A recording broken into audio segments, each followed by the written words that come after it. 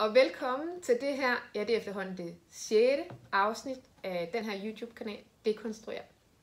Det er noget tid siden, at jeg har lavet et afsnit, for der er sket rigtig meget de sidste par måneder, eller den sidste måneds tid i hvert fald, øhm, hvor der har været rigtig meget fokus på, øh, på racisme, efter at øh, George Floyd blev slået ihjel i USA.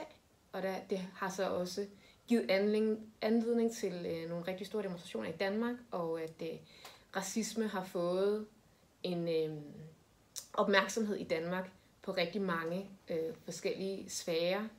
Øh, både, jeg arbejder jo selv som folkeskolelærer, der har vi snakket meget om det, men også øh, delvist i medierne, og det er faktisk lidt det, vi skal snakke om i dag. Jeg har taget øh, Lamis og Mia med i dag, og de har hver især valgt en artikel, som øh, vi kommer til at snakke om. Lamis, kunne du tænke dig at starte med at introducere dig selv? Mm. Ja, øh, så jeg hedder Lamis, og jeg er uddannet sprogpsykolog og arbejder som øh, kampagnekoordinator for Center for Dansk Muslimske Relationer, øh, hvor vi har meget fokus på ghettoplanen øh, og på alle de diskriminerende elementer, der er der. Øh, men generelt så arbejder vi imod øh, islamofobi. Øh, så ja. Og det tænker jeg også er meget oplagt til, øh, til den snak, vi kommer til at have i dag. Ikke? Ja. ja. Mumia, kunne du sådan introducere? Ja, jeg hedder Mumia, og øh, jeg er uddannet folkeskolelærer og pædagogisk sociolog, og har de sidste 11 år arbejdet i og omkring folkeskolen, øh, og de sidste 5 år her i København på en skole med en øh, stor del elever med etnisk minoritetsbaggrund, og skal efter sommerferien være afdelingsskoleleder for udskoling i Slagelse. Ja, så. men det bliver så spændende. Ja, det bliver rigtig spændende. Så øh, det, det glæder vi os til, hvad det kan føre med sig. Yes. Men vi skal have kigget på, hvad det er for nogle øh, artikler, I har valgt at tage med i dag. Og hvis vi starter øh, med din. Mm, ja, så jeg har valgt øh, en, jeg tror det må være, være en leder fra journalisten, for det er chefredaktøren øh, Christian Lindhardt, der har skrevet den. Og han problematiserer hele øh, pressens tilgang til øh, racisme-spørgsmålet. Og jeg synes, det var rigtig interessant, og det var rigtig sådan, befriende, at der var nogen, der faktisk snakkede om det og talte om det her med, at man at journalisterne bare ikke gør et godt nok job i forhold til at afdække det her emne. At, at de hele tiden har fokuseret, altså de fokuserer på det forkerte, øh, de fokuserer på, om der er racisme, frem for at lave un, sådan, hvad hedder det, øhm, gravearbejde i forhold til at se, okay, er der, struktur, ikke er der strukturel racisme, men hvor er der strukturel racisme, og hvordan kan vi komme det til bunds osv., øhm, at det så mangler. Øhm, og jeg valgte den også, fordi jeg synes, det var interessant i forhold til øhm, den, en anden artikel fra DR, hvor det er, at de hiver fat i hans mm. artikel, og så begynder de så at stille hinanden spørgsmål, spørgsmålet om, sådan, jamen, gør vi det så ikke godt nok? Og det er det der med, at sådan, i stedet for at tage kritikken til sig, ja. og gøre det, så sidder de bare og ligesom vasker hænderne rene og, og stiller hinanden spørgsmålet om, Øh, det var en DR-journalist, øh, journalist, som havde spurgt øh, chefredaktøren for DR, om, om de ikke afdækker det godt nok, hvor man bare tænker, det er jo ikke sådan, det er jo ikke det, der er meningen med det her. Det er meningen, at I faktisk går ud og laver noget ordentligt journalistik. Ikke? Ja. Så ja, så jeg synes, det var interessant. Ja. Og jeg synes, det er meget sådan sigende for, hvad det er, der foregår i den danske ja. presse, og hvor problematisk det er. Ja. Og jeg synes faktisk også, at det er en lille smule sigende for hele sådan mediernes rolle i det her, at det er mm. journalisten, der tager det op. Altså det er medie, ikke? fordi journalisten er jo ikke et, øh, et, som sådan et nyhedsmedie, som jeg forstår den, vel? Det er mere et fagblad, mm. ikke? Mm. Jo, ligesom ja. folkeskolen. Ja, præcis. Ja. Så, så man kan ligesom sige, at det er sådan en uh, vagthund over vagthundene, ja. Ja. som ligesom prøver at, at lægge op til debat i forhold til, til det her. Og, og det er interessant både, at det er dem, der ligesom mm. tager det op, men også, at det så bliver modtaget på den måde ja. af de andre medier, som det gør. Ikke? Ja. Altså, at det nærmest paraden op, før man overhovedet har forholdt sig til den kritik, ja. der bliver givet ja. i, øh, i den her leder. Det synes jeg også er meget sigende. Mm. Øhm, fordi jeg, jeg synes, det... Øhm, hvad tænker du, altså også sådan med, med tanke i det som arbejde, som du laver i, øh, i CEDA, hvad er det egentlig, du savner? Altså, hvad kunne du godt tænke dig? Øh, jeg, jeg, jeg savner journalister, som ikke bare viderefører en politisk dagsorden. Og det er det, jeg synes, man ser rigtig ofte. Øh, det er det her med, at man ikke tager fat om de problemer, der er. Man, man reproducerer den samme diskurs, som politikere gør, øhm, og der er klar en højere orientering, sådan ligegyldigt hvor på skalaen man er, så det er ligesom bare der alle skal være, øh, for at kunne få lov til at sige noget. Der er faktisk også lige nu kommet en artikel ud fra, er det Liberal Alliance, hvis nok, øh, formand derfra, mm. som siger sådan, at man at lidt eller de har tabt allerede på forhånd, fordi at, at diskursen omkring politik lige nu, sådan udlændingepolitik, der skal man bare være så højre radikal, at man nærmest skal øh, og, hvad hedder det, øh, begå lovbrud, ja. før man kan blive hørt. Ikke? Så, så, så det er bare for at sige, at når det er journalisterne, så viderefører politisk, den politiske dagsorden, i stedet for netop at være kritiske, i stedet for netop at være sådan, altså grave ned og, og have deres, du ved, det er jo meningen, at journalister skal komme med noget nyt. Det er meningen, at de skal øh, ikke tjene politikernes mm. dagsorden. Ja, hvad vagthunden, ikke? Ja, netop. Altså ligesom netop. være kritiske over for det, der er sagt. Ja. Øhm, så, så det, det synes jeg virkelig, at man kan se i arbejdet øh, hos SEDA, og når man ser på, hvor islamofobisk det hele er blevet, øh, så synes jeg, det er vigtigt, at vi har nogen, som netop også taler den sag. Ja. Ja. Ja. ja. Har du nogen, øh, er der noget, du vil tilføje? Nej, altså jeg synes, jeg synes jo, det er et spændende perspektiv, så alt det her med at gendrive fortællinger, de her narrative mm. diskurser, der kører, øh, synes jeg også klipper ind i det perspektiv, som jeg tror, jeg kommer til at fortælle om om lidt. Ikke? Men det her med, at hvad er det for en rolle, medierne spiller, og hvad er for nogle fortællinger er det, de skaber, fordi de er jo vores formidling af den fælles samtale, vi har. Ikke? Mm. Og i og med, at øh, den fælles samtale så er så højere grad, som den er, så kvæler den nogle stemmer og lukker nogle perspektiver ude, og den forstærker mm. de højere radikale perspektiver. Mm. Øh, de borgerlige perspektiver øh, på det her område, og det, det synes jeg er en, en kæmpe udfordring. Øh, fordi når, når man arbejder i folkeskolen, så skal have de her samtaler med børn i for eksempel samfundsfag, men du skal trække fat i politologi og arbejde med artikler osv., og det skal være let tilgængeligt sprog, så det bliver ikke fagbøger, det bliver avisartikler, mm. ikke? og når de så kun kommer med de her perspektiver, ja. øh, og ikke har en repræsentation i de stemmer, der bliver givet, ja. så, så er det en udfordring. Mm. Øh, og hvis du så har nogle undervisere, som ikke er opmærksomme på den her dagsorden, ja. øh, og kan gå ind og didaktisere de tekster, de arbejder med med børnene, så får børnene præsenteret øh, en ikke... De får præsenteret et narrativ, ja. når der i virkeligheden er mange flere nuancer mm. i virkeligheden. Nogle nuancer, de måske bedre kan identificere ja. sig selv med, eller se sig selv ind i. Øh, nogle nuancer, som, som anerkender deres mm. øh, ståsted. Ikke? Ja. Øhm, og det synes jeg er en udfordring, og, mm. og der har du helt ret. De burde være vagthunde, ja. og de burde tage den position alvorligt, øh, mm. som han jo også skriver i sin artikel. Mm. Øh, og det, det oplever jeg heller ikke, der bliver gjort. Mm. Og man kan sige, en ting, det er, når man sådan snakker politologi i, øh, i samfundsfag, ikke? eller hvis man man prøver at sætte det ind i sådan en, øh, en debatkultur, hvor man sådan ligesom, okay, så er der nogen, der mener det her, hvad kunne man så mene i stedet for? Men noget andet er sådan i dansk faget, hvor man ligesom, hvis man har taget en, øh, en artikel, som, som man ligesom bruger som en, en genre, ikke? altså artiklen som en genre, og man går ind og kigger på, hvad er det ligesom for nogle af de her genrekriterier, der ligesom gør sig gældende, og hvordan gør de sig gældende i den her artikel, og man ikke kigger nødvendigvis så meget på indholdet. Så det er faktisk ikke det her med at problematisere indholdet, men det er mere artiklens form. Mm. Fordi så er der rigtig mange også sådan subtile øh, medbetydninger, som man måske mm. ikke får taget fat i, ikke? og som man ikke giver eleverne rum for naturligt at kunne konfrontere. Især elever, som er meget sådan, øh, plisende. Mm. Ikke? Som er sådan nogle, læreren siger det her, så jeg gør bare, mm. som der bliver sagt-agtigt. Fordi nogle af tingene, og det synes jeg faktisk også var noget af det, som, som du var inde på, Lami, som er ret interessant. Nogle af de her øh, ting og de her sådan, øh, ståsted eller holdninger kommer jo også til udtryk mellem linjerne. Ja. Altså det er jo også noget med, hvad er det for et ordforråd, man vælger at bruge, ikke? Mm. Øh, eller, eller hvad er det for, for nogle spørgsmål, man vælger at stille eller ikke stille. Mm. Hvilke billeder bruger man, hvilke billeder bruger Jamen man præcis, ja, ikke? Det er altså billeder af en kvinde med tørklæde og nettoposer, ikke? For eksempel, ja. ikke? Og hvis ikke det bliver problematiseret, ja. hvor det tænker jeg måske, at det er måske ikke alle, der vil gøre, men jeg tænker, det er mere nærliggende at gøre det, når man for eksempel sådan har noget i samfundsfag, mm. hvor man snakker mere noget med befolkning og holdninger og diskurser og medier og sådan noget, ikke? og betydningen mm. af medier. Men hvor i dansk fag, hvor man går ind og kigger på nogle andre ting, kan det godt være, at man, bliver for, altså man kan let blive for fokuseret på, på de her genrer til identifikation og aktualiteter. Og på altså den måde, så går det under radaren. Og, Ja, lige præcis. Og, og bliver ikke, ja. Ja, lige nøjagtigt. Og det samme som det her med, når vi så skal analysere. Så man, man, man kan i hvert fald håbe, at der bliver en større bevidsthed omkring lige Mm. præcis det her med sprogvalg. Ikke? Mm.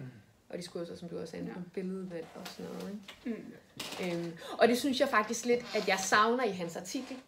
Jeg savner lidt, fordi noget af det, fordi det, som han jo skriver i den her Mm. leder, er jo meget det her med, at han gerne vil have gravearbejde i forhold Ja. til den strukturelle øh, racisme, som jeg forstår det. Ikke? Mm. Og hvad er det for nogle konsekvenser, ja. som det har for Danmark som samfund, Mm. at der er nogle grupper, der ligesom står uden for arbejdsmarkedet, fordi de faktisk øh, bliver diskrimineret, hedder det forkerte, eller øh, går med tørklæde, eller andre ting, Mm. mm. som gør, at de, øh, at de ubevidst eller bevidst bliver ekskluderet fra arbejdsmarkedet, eller han snakker også om øh, øh, boligmarkedet, som mm. var meget Mm. aktuelt også. Øh, Øhm, men, men hvor jeg egentlig også savner, at han er inde på det her med, men hvad er det for nogle diskurser, vi bruger? Mm. Hvad er det for et sprog, vi bruger til at beskrive bestemte øh, emner, bestemte problematikker, ikke? Mm.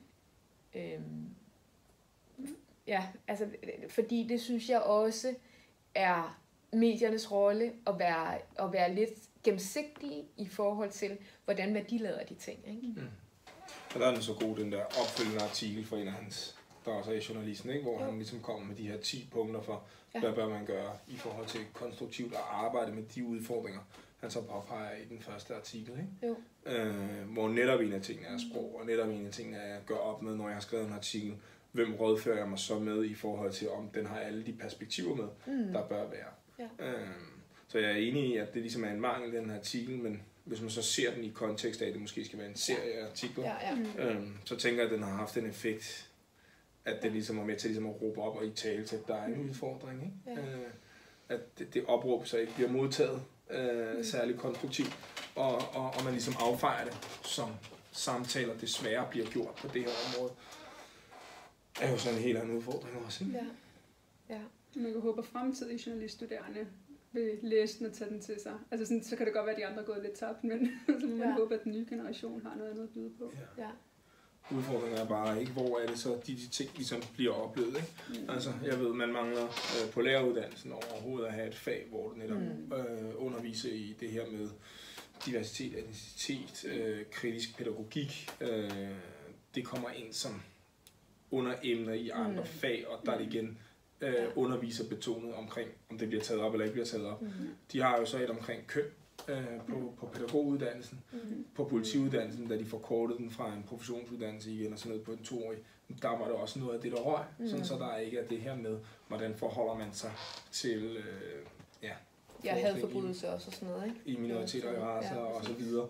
Ja. Øh, så udfordringen er jo bare, at øh, fra politisk hold, øh, når de laver øh, uddannelsespolitik, og hvordan at det, det bliver dissemineret ned til universiteter og professionshøjskoler, Mm. der bliver det bare ikke inkluderet i studieordningen. Mm. Fordi at, og det kan man jo så diskutere, det er min tolkning af tingene, men den uddannelsespolitik, vi har kørt de sidste 20 Mm. år, hvor Venstre har siddet på det med Dansk Folkeparti i 16 af de sidste 20 år, -agtigt, Ja. øhm, der, øh, der har det været en borgerlig tilgang, og der kunne man så ligesom høre ligesom det der afsnit fra presselosen Ja. forleden dag, hvor at man anerkender ikke engang, at der eksisterer strukturel racisme. Hvis man Ja. ikke anerkender, at der eksisterer strukturel racisme i Danmark, så giver det jo heller ikke nogen mening at indskrive fag, Mm. hvor folk forholder sig Mm. kritisk til ting.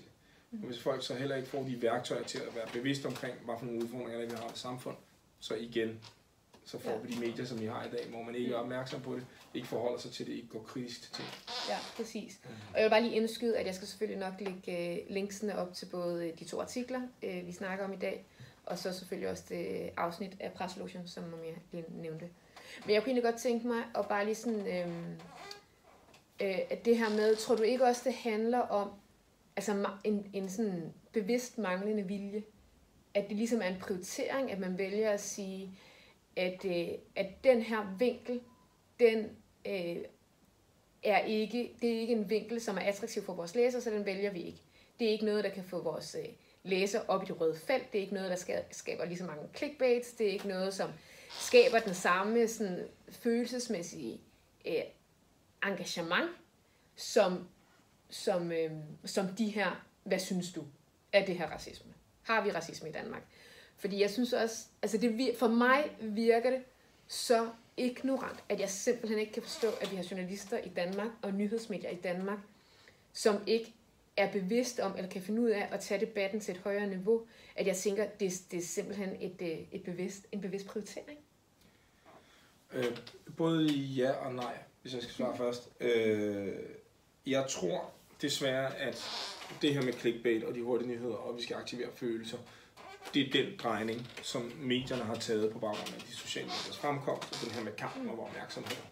Og du skal bevidst tage et, en anden position for at gå op mod det her. For eksempel Zetland, hvor de siger, jamen det er lange, dybdegående artikler, og I får tre om dagen, og det er det fokus, der ligesom skal være. Ikke? Øh, så det tror jeg ikke er øh, et bevidst valg, man vælger at sige kun på minoritets- og etnicitet- og diskrimination og racismeområdet, at det er der, man gør det. Det oplever jeg sker på tværs Mm. af alle emner. Mm. Grunden til, at øh, jeg giver dig ret i, at det virker fuldstændig ignorant, at man ikke arbejder med det her emne på en mere dybdegående måde, er jo netop det gabende fravær af den seriøse journalistik, der ligger bag. Mm. Fordi hvis vi netop kigger på, at det kunne være voldtægt, at, at der er også de her, oh, er der det her, og hvad skal man gøre med den forbryder? Skal han straffes? Hvad er din mening? Bla bla bla. Der kørte et billede forleden dag på alle sociale medier, hvor alle bare sender ud, politiet efterlyser ham her for det her, og så er folk gode til at dele det. Ikke? Øh, så, så det clickbait er der jo også på de andre emner, Mm. men vi tager, ej, det måske et dårligt eksempel med, med vold mod kvinder og voldtægt, og så der, fordi der burde også være meget mere seriøs journalistik Mm. omkring det, og der, det mangler også. Øh, men men der er alligevel en anden tilgang. Der er altså nogle kritiske kvinder, der laver noget god journalistik på det her område, mm. i forhold til at sige, at vi har altså de her statistikker, vi har det her mørketal, vi har den her forskning. Så den seriøse journalistik ligger der også som et supplement, men det gør den ikke i det her, Mm. øh, inden for racisme og diskrimination. Og jeg tror, at det er den mangel på den også seriøse Mm. journalistik, der får det andet til at virke Ja. ludicrous, altså Ja. helt vanvittigt. Ikke? Øhm, og jeg tror, så derfor tror jeg, jeg siger både ja og nej, fordi Mm. mm. det er manglen på den seriøse journalistik, der gør, at den generelle tendens, jeg ser på alle andre områder, ligesom er en udfordring. Og så kan jeg jo ikke lade være med at hæfte mig ved, at du siger, at der er nogle kritiske kvinder, der laver kritiske artikler omkring voldtægt, Ja. og så lader jeg ligesom den stå i det. Men ja, og det er jo det, ikke? Altså, Ja. fordi der er alligevel nogle kvinder, der har nogle positioner, hvor de kan Ja. skrive, ikke? Og det er en anden ting, vi snakker om, inden vi gik på her, i forhold til, Ja. hvem er repræsenteret i de stillinger, hvor at man faktisk har midlerne til og muligheden for Præcis. at tale det her op. Ja. Mm. Øh, og det er en helt anden udfordring, der mangler repræsentation i de Ja. her positioner. Ja, lige nøjagtigt. Mm. Ja. Men skal vi prøve at høre, hvad det er for en artikel, du har valgt? For den taler jo lidt ind også i det her. Øhm, og jeg kunne måske faktisk godt bare lige til- tilføje en ting inden, faktisk. Mm. Fordi en ting er det her med, og det var det, som den leder, du har valgt handlede om, det var det her med, øhm, hvordan dækker medierne racisme, ikke? Mm. Men noget af det, som jo også er interessant i forhold til også det, som du snakker om, det er jo også det der med, at fraværet af etniske minoriteter i alle mulige andre emner, Mm. er jo også noget, der ligesom skriger til himlen. Ikke? Mm. Fordi at, at det er også det der med, hvad er det ligesom for en position, som den her gruppe af medborgere kan indtræde. Mm. Ikke? Og det er jo også noget, vi ser i forhold til undervisning, for eksempel med eleverne. Ikke? Hvordan sikrer man at få skabt nogle dynamiske identiteter, Mm. uanset hvem vi er i det her samfund. Ikke? Jeg tror endda, det står i artikel nummer to fra journalisten der, ikke? hvor han siger, Ja. at det er 12,9 procent af den danske befolkning, der er etniske minoriteter, men 4 procent repræsenteret i kilder. Ja. Og når de er, så er det sådan noget kriminalitet og religion. Ja, Ja. præcis. Men der var også jeg kan huske, der var en, en gang en, der sagde, at jamen, hvis det er, at man har en minoritet til at tale om et hvilket som helst andet emne, at det skaber sådan, altså sådan i seernes øh, hoved, altså kan de ikke sådan se en sammenhæng. Altså, de, de kan ikke abstrahere fra personen, øh, personens udseende, og så lytte til, hvad det er, personen siger. Og Ja. det er jo i sig selv et problem. Ja. Og der er det sådan, der, som journalist, så skal man jo heller ikke bare sige, jamen derfor så fravælger vi øh, et bestemt segment. Men altså sådan, i stedet for så burde de jo sige, være dem, der er frontløberne, og være dem, der ligesom insisterer på at inkludere en, en hel masse andre mennesker, så det bliver mere normalt. Så man kan ikke sådan blive Mm. ved med at Ja, ja, ja og det der, unormalt. Øh, man, man bliver jo nødt til ligesom at tage et aktivt valg på et eller andet tidspunkt, og sige, prøv høre, vil jeg være på den her side, eller vil jeg være på, Ja. være på den her side? ja. Og der synes jeg faktisk, at uh, Shimamandas uh, TED-talk omkring the, single sto- the Danger of a Single Story, mm-hmm. hvor hun snakker omkring det her med, mm. hvis man hele tiden kun får én fortælling, ja. ikke? altså den her meget stereotype, ja. fremmedgørende, andetgørende fortælling omkring Netop. den anden, ikke? Ja. Så, så er det det, som den person eller den gruppe af mennesker bliver. Netop. Og, og altså børn og unge og voksne, men i ja. hvert fald også børn og unge, det er jo også noget, de lægger mærke til. Øhm, under mit studietid, der øhm, hvad nu, lavede jeg feltarbejde på en folkeskole, øhm, og kiggede blandt andet på, hvordan den her også dem diskurs påvirkede de unge. Og det var netop sådan noget, mm. som de tog fat i. Ikke? Ja. Øhm, men samtidig så kunne man også godt se, at de også virkelig internaliserede den her mm. tankegang. Så det kan godt være, at på nogle områder, der følte de, at du ved, de kunne se, hvad der foregik, og de var vrede omkring det. Og så på andre områder, sådan, i selve den samme snak, så kunne man se, at halvdelen af det havde de internaliseret, og ja. halvdelen af det sådan, sådan, råbte de højt op ja. omkring. Ikke? Så de problematiserede ikke det, det der med, at den brune mand altid var voldelig. De problematiserede, problematiserede, at den hvide mand ikke også blev set som voldelig. Ja. Kan I følge mig? Så ja, ja. sådan nogle ting, så... Ja. Og det er det, som jeg synes er rigtig sådan farligt, og det er det, som ja. journalister også bliver nødt til at sådan åbne ja. øjnene op omkring, det er, at det påvirker også unge, børn og unge, det påvirker måden, de ser sig ja. selv på. Øhm, og jeg synes, det er rigtig synd. Ja. jeg synes ja. virkelig, man bliver nødt ja. til at snakke højt om det, fordi ja. ja man, det kan godt være som voksne, man begynder at kunne se nogle ting, og, og mange kan heller ikke. Altså, der er også Nej. rigtig mange voksne, der internaliserer en masse ting. Ja, ja. Men, men jeg synes bare, med børn og unge, der er det helt forfærdeligt. Ja. Og særligt, undskyld. Nej. Jeg tænker, at altså, da jeg lavede før, uh, mit special, det er sådan 100 år siden, ikke? og det er sådan, der er sket så meget siden. Så dengang, mm. der var det jo sådan tone i debatten. Nu er der konkret lovgivning rettet ja. mod den samme gruppe. Og det er ikke kun konkret lovgivning mod voksne, det er også konkret lovgivning mod børn. Det påvirker børn. Ja, det påvirker dem, hvis det er, de bor i et udsat område, eller det, som politikerne kalder øh, ghettoer. Det påvirker dem i deres hverdag. Så det går fra, at det handler om dem som gruppe, til at handle om dem som individer. Ja. Altså sådan virkelig sådan handle om mm. dem og de børn. Ikke? Ja.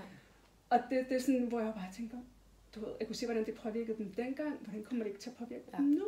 Og hvad er det for et samfund, vi kommer til at ende ud i? Altså ja. virkelig, ja. altså ja, det er sådan noget, det kan jeg slet ikke. Ja. Nå, og, det, og det kunne man jo virkelig godt ønske sig, at politikerne ville gå ind og dække ja. noget om. Ikke? Hvad er det for nogle konsekvenser, det har for de her mennesker? Det er blandt andet i det der øh, presselotion-afsnit, som du øh, refererede til tidligere, øh, hvor Bjarne Korydon, som er en af dem, der sidder med som chefredaktør i det her program, han siger øh, det her med, at, øh, at de har jo allerede dækket det her, og øh, mm. øh, indvandrerpolitikken har fyldt med rigtig meget og sådan noget. Hvorfor er det, vi ikke interesserer, interesserer os for, hvorfor at, øh, at der er nogle børn, der klarer sig dårligere, mm. dårligere i skolen end andre børn. Ikke? Og det er sådan, som folkeskolelærer kan jeg jo sige, det uh, interesserer mig sig rigtig meget for, især hvis det er sådan, at de er brune eller sorte og har muslimsk baggrund. Mm. Men det er jo også lige præcis det der. Hvorfor laver man ikke dybdegående journalistik mm. omkring, hvordan den forskelsbehandling påvirker de her børn? Ja. Ikke? Ja. Fordi der er også noget, en ting er internaliseret racisme, ikke? men det er jo også noget med det der med godt at kunne gennemskue, når jeg siger det her, så bliver jeg anerkendt af min lærer. Mm, ikke? Ja. Hvis det er sådan, jeg udfordrer det her, så er det ligesom om, så møder jeg en anden reaktion ja. fra min lærer. Ikke? Og det er også noget, som man lynhurtigt mm. som barn lærer at forstå, hvad er det egentlig for nogle reaktioner, ja. som, man, øh, som man får igen. Ikke? Ja. Ja, jeg kan selv huske det fra min egen tid i folkeskolen. Der var nogle emner, man ikke skulle tale ja. om, fordi det var sådan, ja. så, ja, sådan, ja. islam, det var ikke det. Man skulle ikke skrive en opgave om islam Nej. i folkeskolen. Det var men, i hvert fald det, man sådan vidste dengang som brun barn. Ikke? Det, sådan, ja. det skal jeg ikke. Men tror du ikke også, det er det, journalister ved? At de godt ved, at de skal ikke skrive den her artikel om, ja. hvordan muslimske børn bliver diskrimineret i den danske folkeskole. Mm. Øh, fordi de godt ved, at det er ikke populært. Ja. ja. Og, det, og det er jo også det, problemet er jo også, at medierne, og det var også det, du snakker om, det der med clickbait. Det er jo gået fra at være sådan, trygte medier til at være øh, medier på, hvad hedder det, på nettet, og der handler det om reklamer, og det mm. handler om, hvem kan ligesom tjene penge. Så det hele er blevet ja. business, i stedet for at være det, som det var engang. Ikke? Jo. Øh, det var så business på en anden måde. Ikke? Men altså sådan, jeg tror bare, det handler meget mere om kroner og øre. Det handler mm. om, hvem, hvem klikker på artiklerne. Ja. Det handler om hurtige artikler. Jeg tror, det er syv mm. artikler om dagen, en journalist skal skrive. Øh, så det hele er bare sådan hurtigt, hurtigt, hurtigt. Ja. Men ja, det er jo også, altså, også fordi mange af dem handler for, det handler for dem om overlevelse. Ikke? Fordi der er så, altså, ja. så hvis man nu retænket vores øh, mediestøtte, øh, ja. medielicensen, så kunne det jo være, at man ikke fik så pressede medier, mm. øh, og at man på en anden måde kunne sikre, at de stadigvæk havde tid, rum og plads til at lave dybdegående journalistik, i stedet for øh, korte artikler, eller de her Mm. robotartikler, Mm. som bare spytter øh, ting ud. Ikke? Ja. Ja. Øhm, ja. Og dit, din artikel er jo faktisk et eksempel på, hvordan man godt kan indgå i dialog.